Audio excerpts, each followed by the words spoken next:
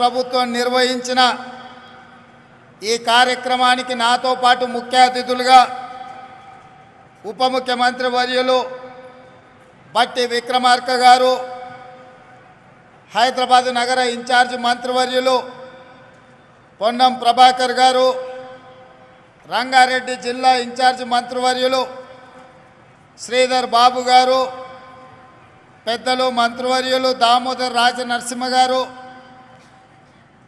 ఉత్తమ్ కుమార్ రెడ్డి గారు పొంగులేటి శ్రీనివాసరెడ్డి గారు అక్క సోదరీమణి కొండ సురేఖమ్మ గారు అదేవిధంగా తుమ్మల నాగేశ్వరరావు గారు కోమటిరెడ్డి వెంకటరెడ్డి గారు మిగతా మంత్రివర్యులు శాసనసభ్యులు అదేవిధంగా హైదరాబాదు నగర నాయకులు ముప్పై మూడు జిల్లాలకు సంబంధించిన అధ్యక్షులు మా ఆడబిడ్డలందరూ కూడా లేచి ఒక్కసారి. మా ఆడబిడ్డలందరూ ఇవాళ మీ అభిమానంతో మీరు లక్ష మంది ఈరోజు పరేడ్ గ్రౌండ్లో కదం దొక్కితే మీ నాయకత్వం మొత్తం ఈ సమావేశంలో ఈ సభా వేదికగా తెలంగాణ రాష్ట్రానికి మేము నాయకత్వం వహిస్తామని చెప్పి ఇవాళ ఆడబిడ్డలందరూ కూడా ఇక్కడ హాజరయ్యారు. ఇవాళ నాకు చాలా సంతోషంగా ఉంది.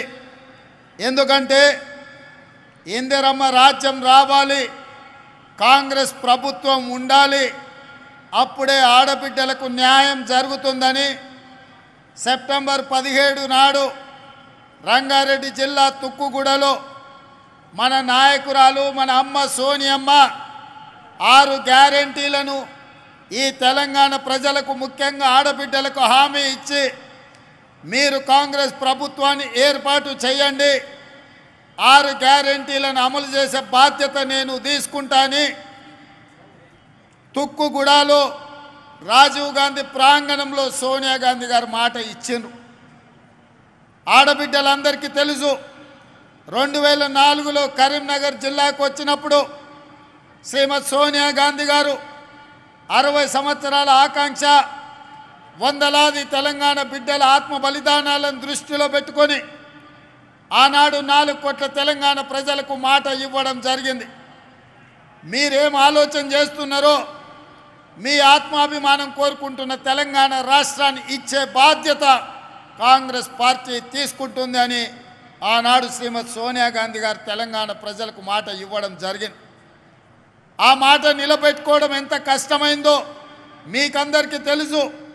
తెలంగాణ రాష్ట్రం ఇవ్వడంలో ఆంధ్రప్రదేశ్లో కాంగ్రెస్ పార్టీ మనుగడ కోల్పోయి కేంద్రంలో ప్రభుత్వాన్ని కోల్పోయి తెలంగాణ రాష్ట్రంలో ఎన్నో ఒడిదుడుకులు ఎదుర్కొన్నా మాట తప్పని మడమ తిప్పని నాయకురాలుగా మన నాయకురాలు సోనియమ్మ తెలంగాణ రాష్ట్రాన్ని ఇచ్చి ఇవాళ తెలంగాణ రాష్ట్రంలో ఎంతోమంది తల్లులు తమ బిడ్డలు తెలంగాణ కోసం ఆత్మ బలిదానం చేసుకుంటుంటే ఆ తల్లుల కడుపు కొత్త తెలిసి ఒక బిడ్డను కోల్పోతే తల్లికి ఎంత దుఃఖం ఉంటుందో సోనియమ్మకు తెలుసు.